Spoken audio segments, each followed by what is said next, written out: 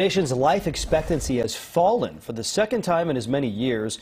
According to the CDC's National Center for Health Statistics, the average lifespan is now 76.4 years in this country. That's down to a low we have not seen since 1996.